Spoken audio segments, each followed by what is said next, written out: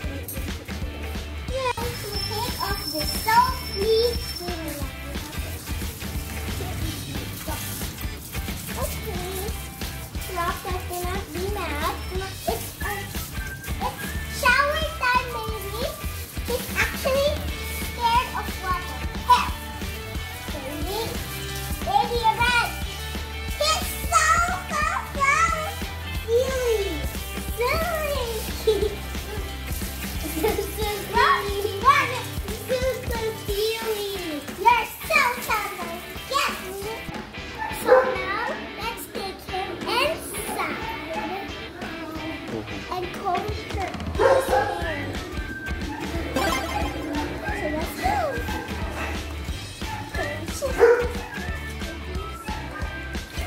I'm always going to